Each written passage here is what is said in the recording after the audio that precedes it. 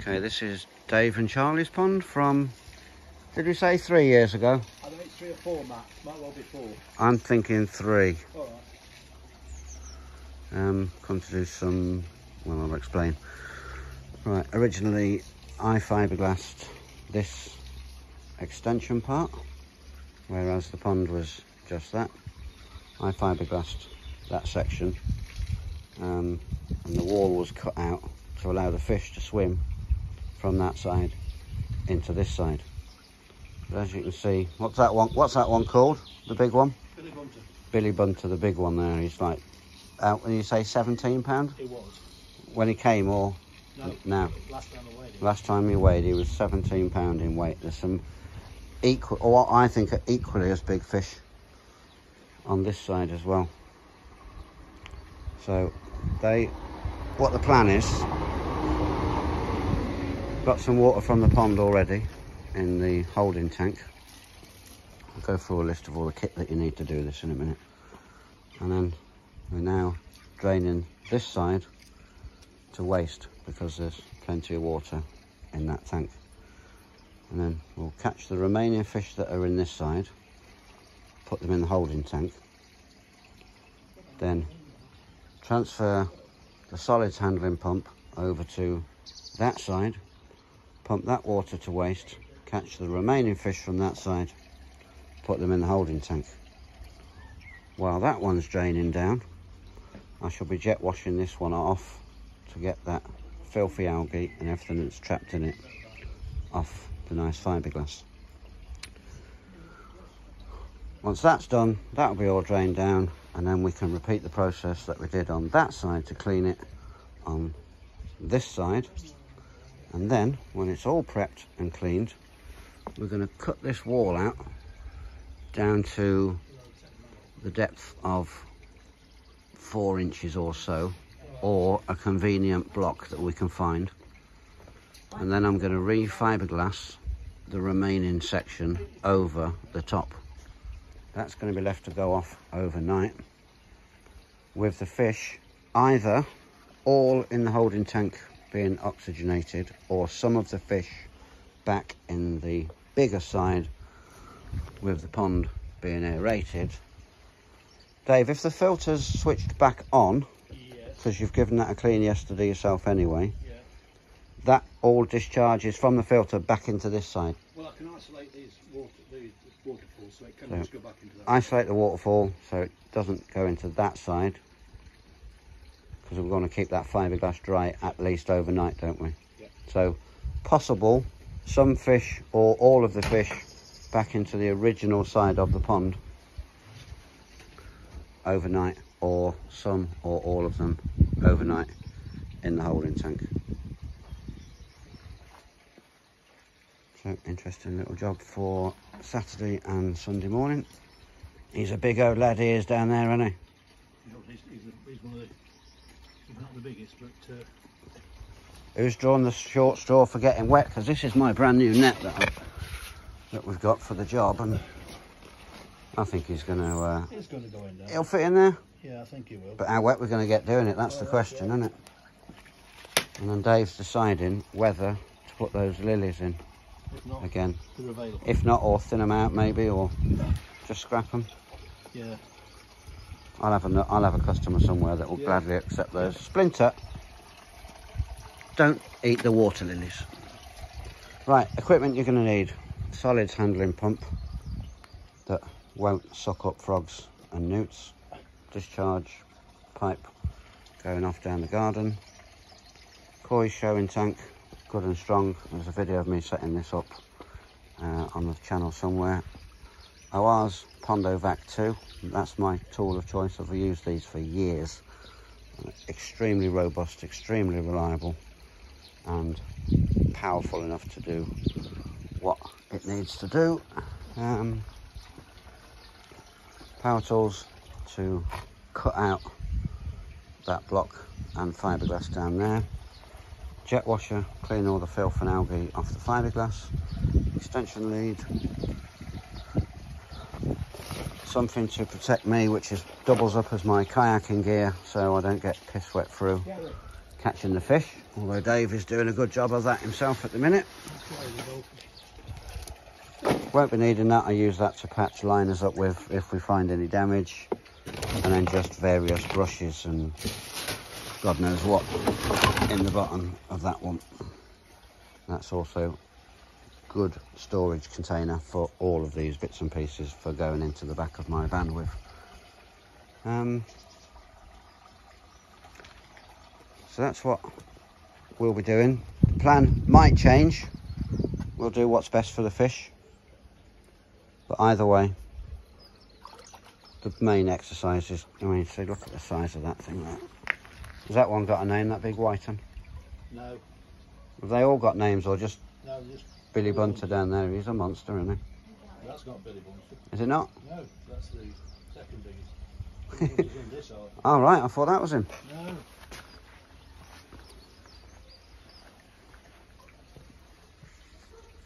Here he is, isn't it? Right, okay. Yeah.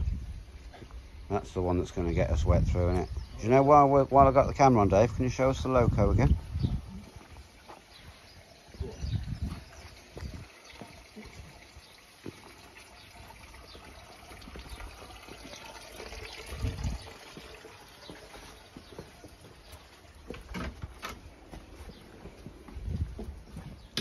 Said to you earlier when I've looked at this, Dave, or when you showed me, how I've told so many customers about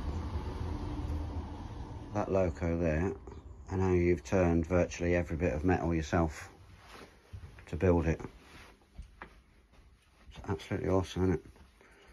When I came, do you remember when I came the first time? You were part way through it, weren't you? And you said the boiler had to come because that Yeah, had to be. the boiler. The boiler came uh, not last Christmas, the the March, the, the Christmas last year, I think it was. Was that about the only bit you didn't do yourself because it was specialist and under pressure? And That's right. I mean, look at that.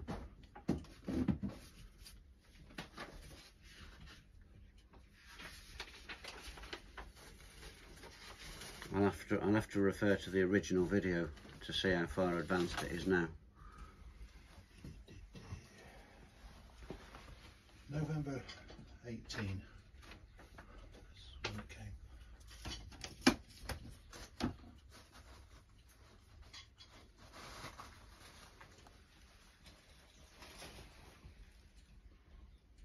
It's quite a thing, isn't it, building these? Did you say there was an internet forum that you're on?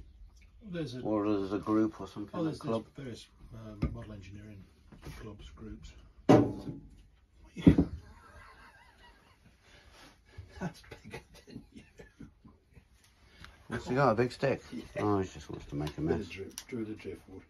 Splinters after any rats, if there are any. Splinter, bust on any. So yeah, awesome bit of. Uh...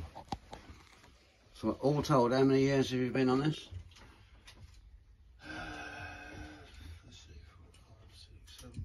Uh, let, me, let me get me.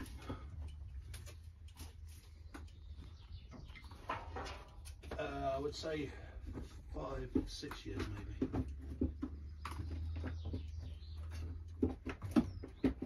You're a more patient man than I am. Clearly. Maybe even seven actually. But you say you do switch off from it for per- extended periods. Yeah. Look at that, even you've got even all of your drill bits are all in the right place as well. Mine will be all over the place in the bottom of a bucket so somewhere going rusty.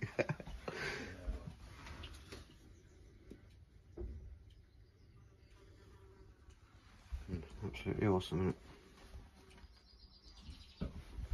And then you've turned loads of them, or most of it from that, Yeah. that lathe. Is it a lathe? Yeah. Yeah.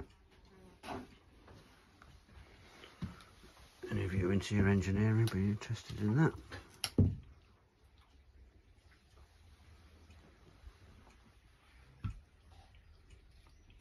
I remember stepdad used to be into engineering and used to bring the swarf home. If you didn't wear your slippers, the swarf would be uh, Yeah. stuck in your feet.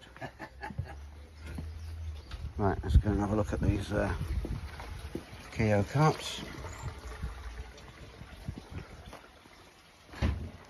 So they it, it's likely that some will be in here overnight. But I will leave my pump running there to turn that water over and oxygenate it.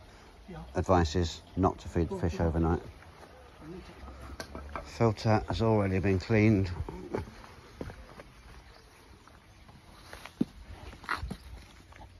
And Dave was going to upgrade that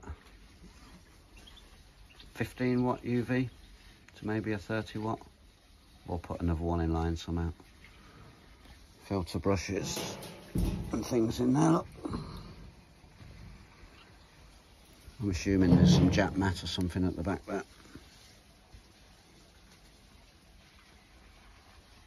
How long's the pond been running all told, Dave? Uh, 30 years. 30 years. And what's the oldest fish you got? Is it about that 30 years?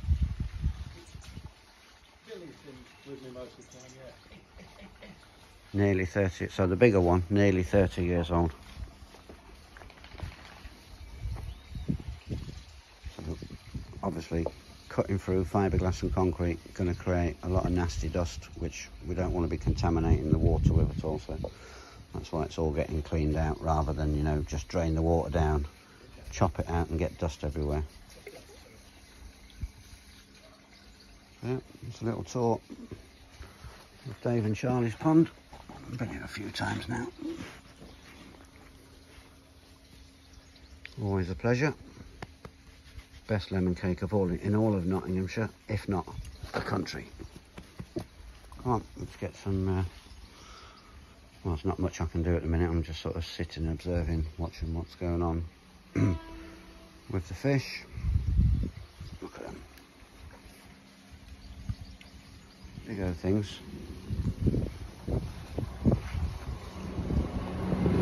Try and catch that big one in a minute. I don't want to catch them. Although, Dave, you've done well catching those already. I kind of prefer to get the water right down so they're, uh, the advantage is on my side rather than chasing them around. But he's done well to fetch those out. Big old lad. It's a fish splinter. You can't eat it. Yeah, you got some gunge and filth being stirred up there in the bottom. Yeah. So I'm going to leave those things out. It's surprising, you know, when we get the jet washer on that, Yeah. and then we'll suck up what the jet what the jet washer dislodges with the Yeah.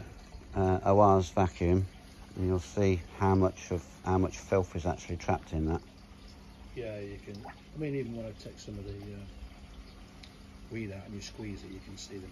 Yeah. And it's been what? How long before it lasts? Ten years at least. Well, since I did all the batting, but I mean, that's obviously just from when you. Yeah. So this is three years since it's been cleaned out or set up. Sorry. Yeah. And that's been ten years without being cleaned out. So uh, be interesting to see how much stuff's in the bottom. Mm. Fish are happy enough in there, aren't they? Yeah. Little little holiday for them overnight. Yeah. They'll be fine.